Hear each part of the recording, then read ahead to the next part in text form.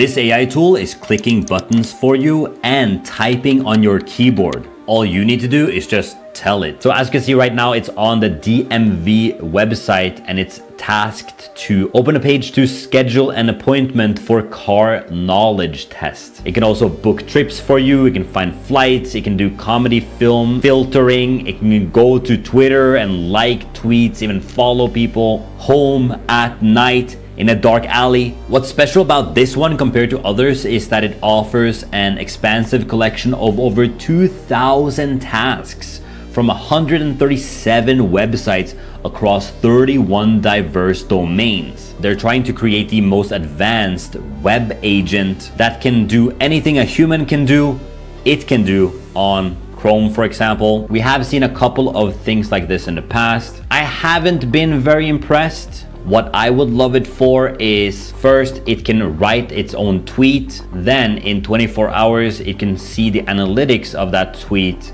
And then it can write a new tweet, hopefully getting a feedback loop where it improves itself. We're getting closer, but we still got a bit to go.